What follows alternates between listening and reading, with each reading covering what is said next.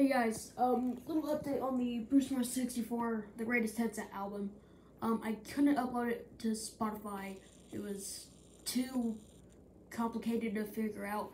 So August 10th at midnight, I, I won't be awake to see you guys' first reactions, but um, August 10th at midnight, they will be available.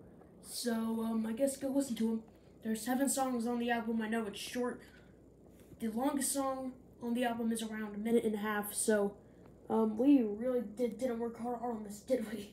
Um, but yeah, so enjoy it, and I'll be posting this to both channels because no one has seen the second channel really, and yeah, because I figure it's more important on here, but I will be posting it to both channels. And there is a new video for the main channel coming later today. I finally got the Radioactive Foxy plush, so it's time to review the, the main four. So, um, yeah, bye.